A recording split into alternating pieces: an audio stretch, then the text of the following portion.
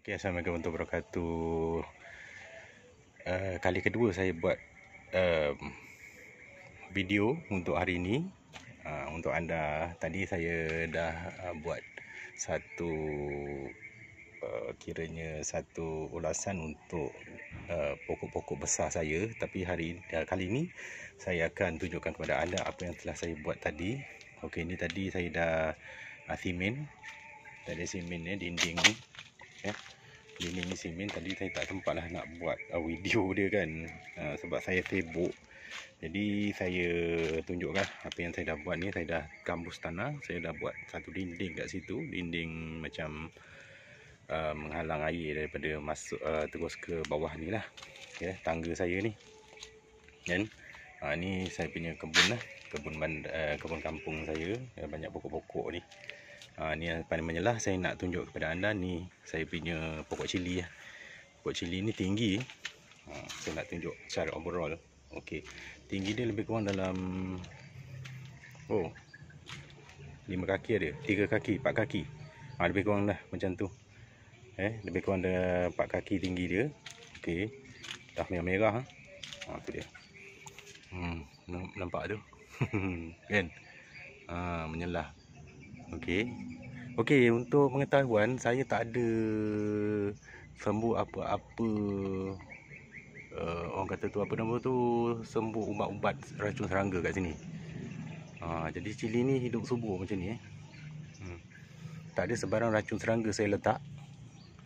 Ha, tapi cilinya besar macam ni eh. Ha, ni cili kampung. Dia, dia saya saya tanam dia ada uh, dia hidup dalam satu tempat yang kecil lah. Bench ni saya buat ni.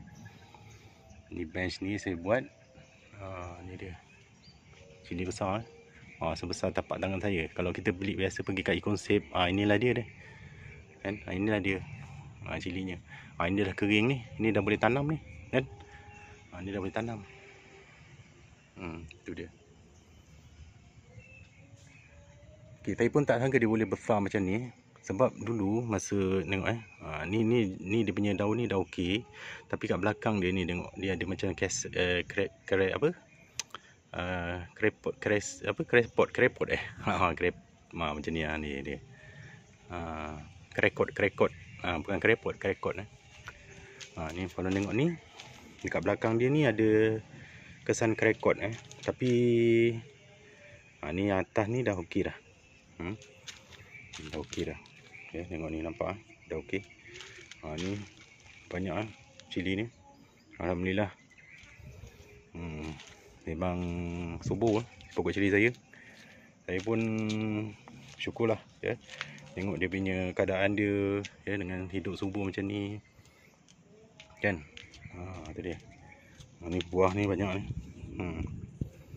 Ni sebab kita kalau macam ni saya saya jarang ada sini sebab saya kerja dekat bandar. Jadi ini sebagai satu macam uh, orang kata reserve lah sekiranya kalau kita ada masalah bekalan uh, cili tak ada kat kedai ke, tak sempat pergi kedai ke kan. Ha, jadi inilah cilinya.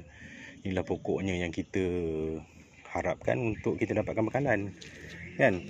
Ni sampai bawah ni. tu nampak eh. Oh, tu dia. Okey, banyak ah. Hmm. Okey, habis kat cili tu saya tunjukkan anda. Okey, ini apa ni? Ha, ni pokok kunyit. Nah, kunyit. Eh, kunyit ni saya tanam je, ya. Saya tanam je. Bukan apa, dia untuk kalau kita nak pakai daun dia untuk masak apa-apa lah kan. Ha, masak rendang ke apa. Ha, inilah dia daun dia. Ha. Yang sebelah sini masih lagi tempat untuk saya tanam pokok ni apa ni? Kailan Cina. Ha, kailan Cina. Okey ni saya dah tanam lagi ni. Hmm, saya dah tanam lagi banyak ah.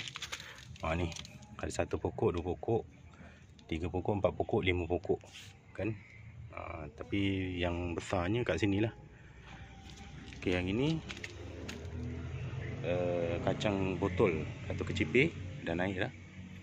Ha, ni yang dah naik lah yang dah besar ni kecipir saya ha, salah satu ya, saya nak tunjuk dia buah dia ha, ni dia kecipir hmm, tu dia kecipir ha, atau kacang botol hmm. Yang ni pun masih kecil lagi dah. Ha, ni nampak ni. Hmm, tu. Okey. Yang sebelah sana tu ada halia.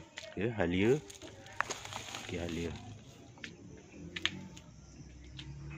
Okey, saya tanam dekat bench macam ni memang uh, dia punya baja lah kalau nak tahulah. Baja yang saya letak ni lah. Uh, ada baja butir dan juga ada baja organik yang saya letak. Uh, macam ni lah. Uh, kulit telur. Dan ada juga kalau sisi sedapur tu memang saya buang kat sini lah.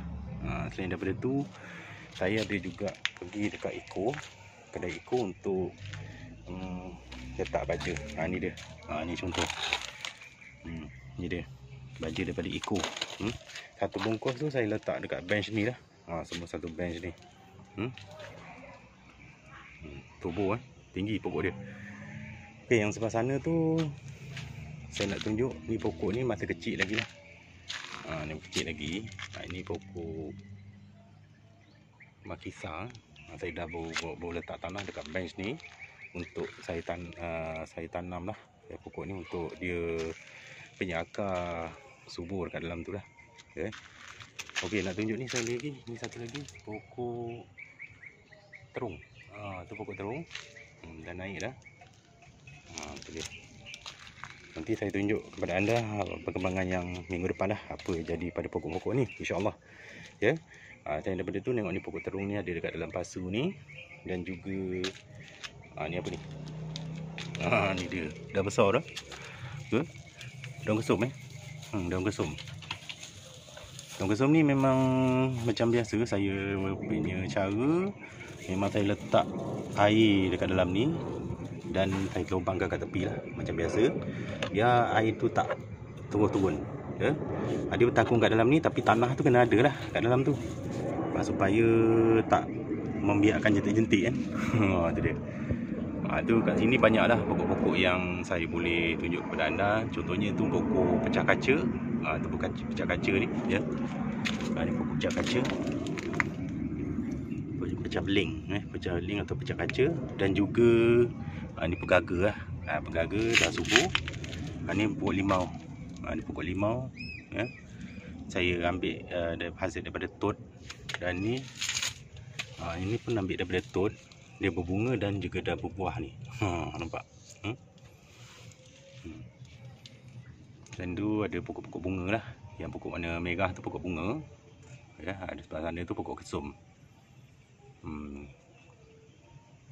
Okey, itu je lah yang saya nak tunjukkan hari ni untuk minggu ni. Dan jumpa lagi untuk minggu-minggu akan datang. Saya akan tunjukkan kepada anda apakah perkembangan yang terbaik atau terbaru daripada pokok-pokok saya kat sini. Okey. Assalamualaikum warahmatullahi wabarakatuh. Bye bye.